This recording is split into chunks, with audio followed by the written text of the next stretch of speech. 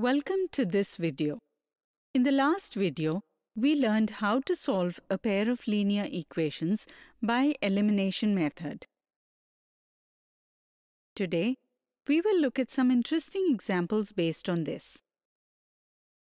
Solve the following pair of linear equations by the elimination method. Can you tell what is the first step we need to follow in the elimination method? Correct. First, we'll make the coefficient of any one of the variables equal. After looking at the pair of linear equations, you can tell that it is easier to make y equal as its coefficients are smaller as compared to that of x. To make the coefficient of the variable y equal, we need to multiply equation 1 by 3 and the equation 2 by 2 after which we get equations 3 and 4.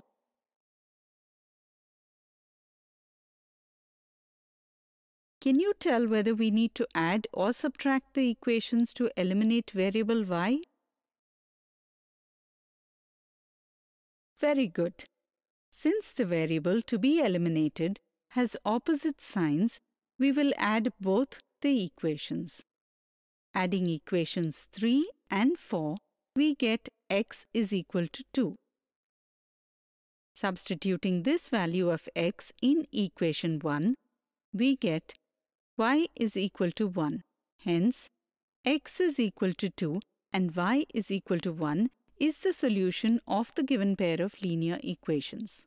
Substituting the values of x and y in equations 1 and 2 and solving them, it can be proved that x is equal to 2 and y is equal to 1 is the only solution to the pair of linear equations. In this video, we looked at some examples based on the elimination method of solving linear equations. In the next video, we will look at the commonly made mistakes while solving the linear equations by the elimination method.